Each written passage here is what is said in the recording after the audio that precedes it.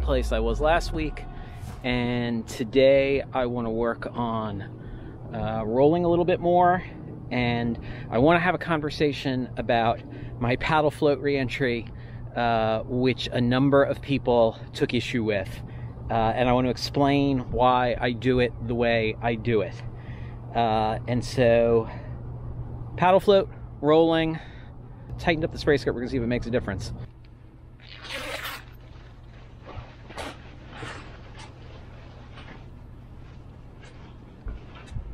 Nope, spray skirt does not tighten. That's it. Let's get on the water.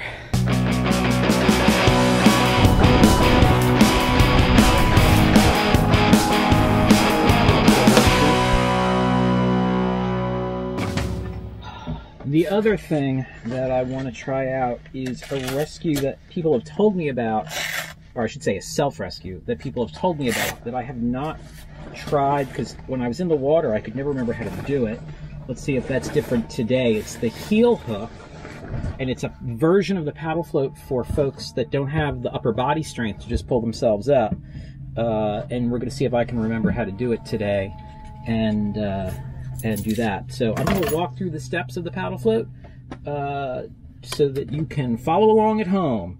Uh, I think it's a great skill. A lot of people don't like the paddle float. Lights? A lot of people don't like the paddle float because you need an extra piece of gear, which I think is kind of a lame reason to not like something. Lots of things that we do require pieces of gear, um, and it's a great backup. When I teach self rescues, uh, I teach a progression, and um, I thought it was interesting in last week's video, I, without thinking about it, did that progression, right? And so the progression is fastest to slowest, hardest to easiest. And so the first step is a roll. Uh, if that doesn't work, a rodeo rescue. If that doesn't work, a paddle float rescue. And without thinking about it, that was what I did. And that is a testament to muscle memory and practicing things and practicing things the way you're going to do things. So I think that that's super important. Uh, so let's get dressed and get on the water.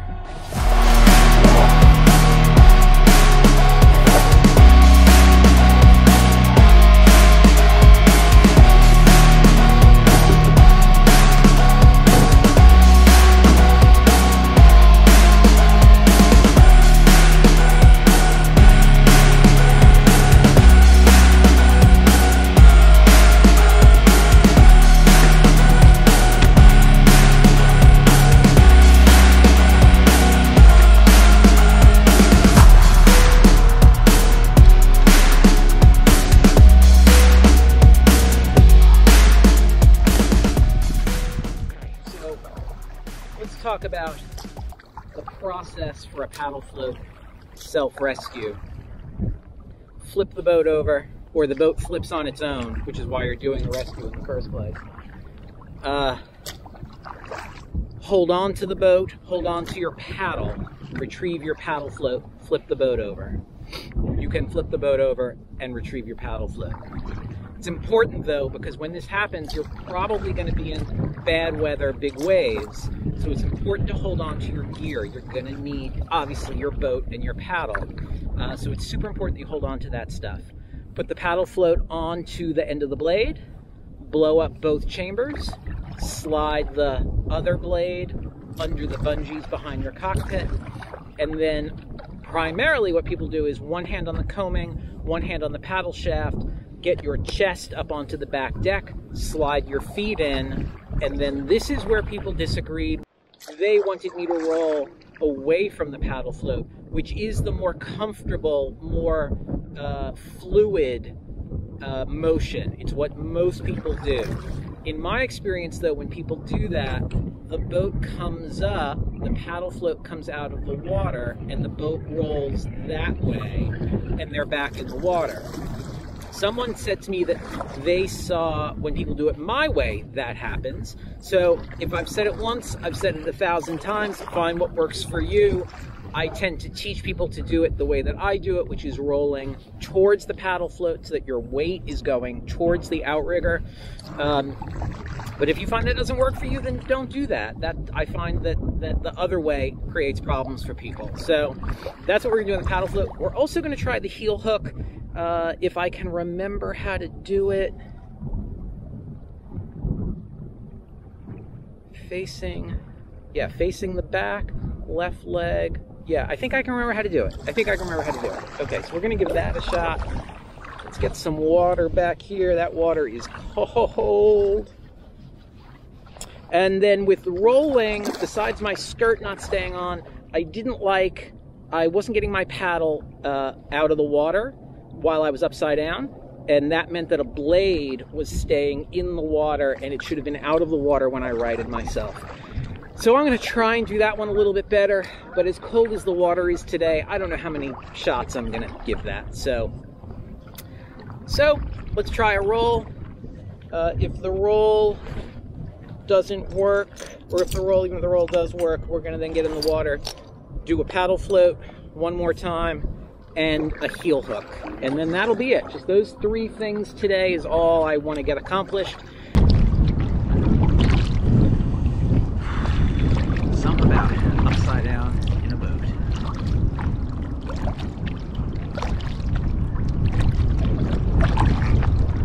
Not quite as bad as intentionally jumping out of a perfectly good airplane, but close. Oh, that's cold.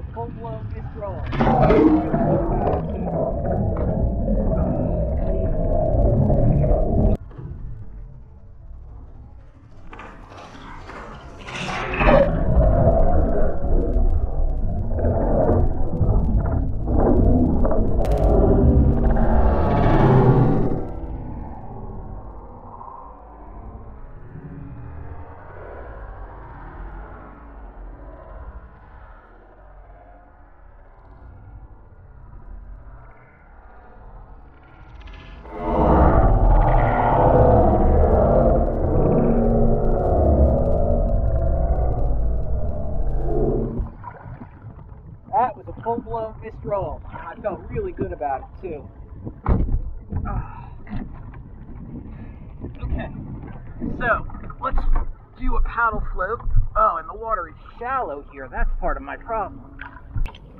Ah.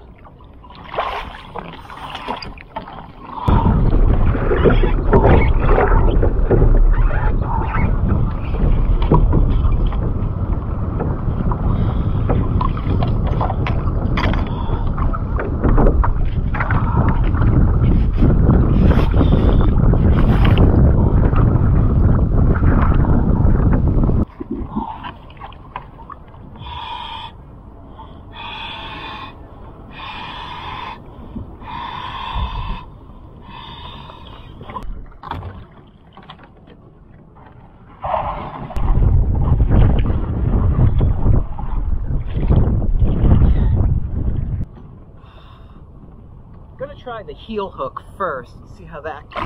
So.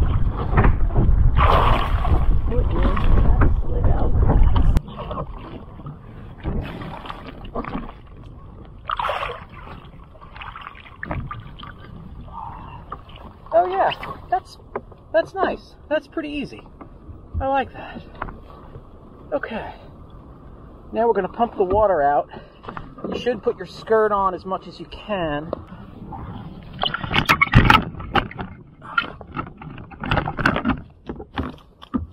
My skirt is too tight to do that.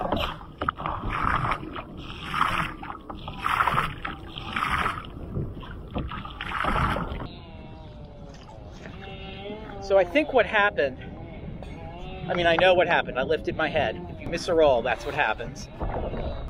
Um, but I think what uh, happened was I lifted my head because the water was so cold. And my brain was saying, get this head out of the water. That was a straight up miss roll. I haven't missed a roll. I didn't miss any last week. The water is colder today, but I didn't miss any last week.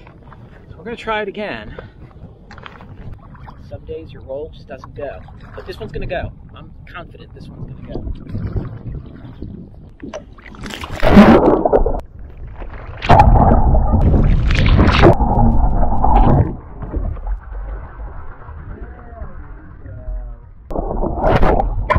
There you go. There you go. And my skirt popped. Sheesh. I think it's popping because I'm. That's what it is. Because I'm finishing on the back deck. I do a back deck style roll, and that's why it's popping. Can I do a forward finishing roll? I don't know if I can do a forward finishing roll. Let's try it.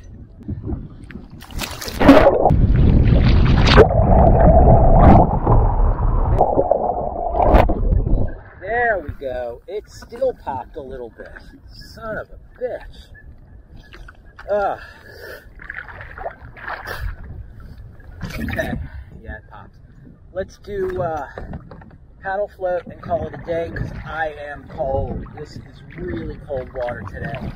Good practice for Alaska, but it is bloody cold. Cold.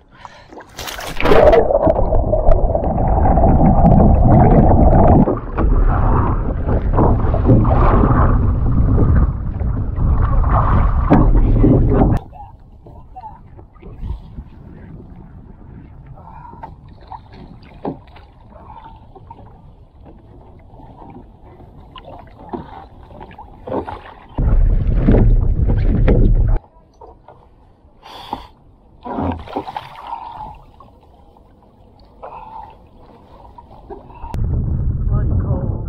Bloody cold.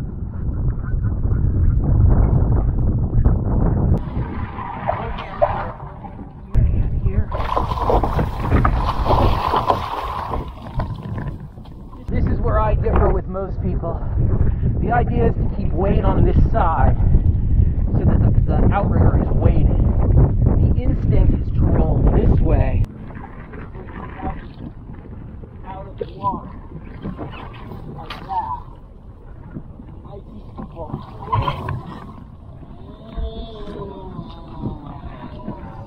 Without getting stuck. So the outrigger, so the outrigger is weighed the whole time. It's personal preference. My experience says that rolling that way, which feels natural, you tend to flip that up more.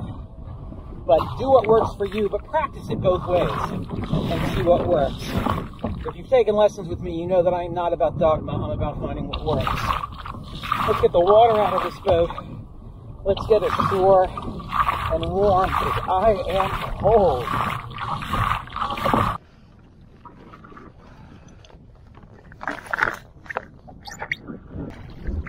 Rough day on the water, man. A missed roll, a crappy paddle float. Oof. Cold water, that's what happens in cold water, man.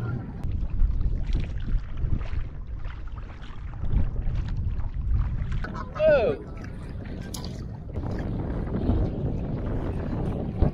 Ooh, the wind has picked up.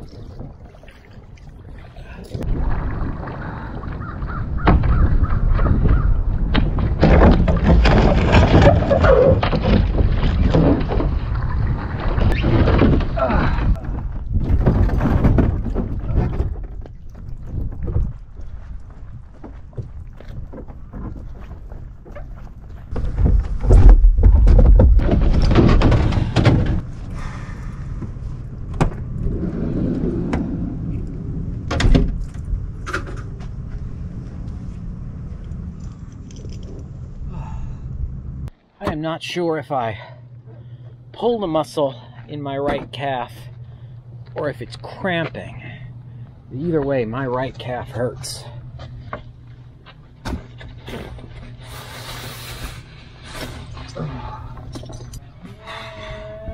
Gonna take a little bit of time to warm up because it is, man, that was cold.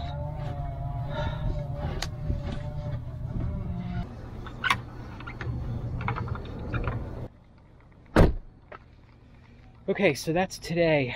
That is the end of uh, part two of Alaska prep, rolling and paddle floats. I'm feeling pretty good about the roll. Uh, even though I missed that one, I'm feeling pretty good, and now I sort of understand why my skirt is popping. Um, and I just have to retrain myself with this boat to do a forward leaning finish on my roll. Um, and paddle floats are feeling good, and I did the heel hook, which was easy, and uh, yeah, good day on the water. Okay. Uh, if this is working for you, do me a favor hit like, hit subscribe. Uh, I know that like 80% of my viewers aren't subscribed, and I'm struggling to hit a thousand.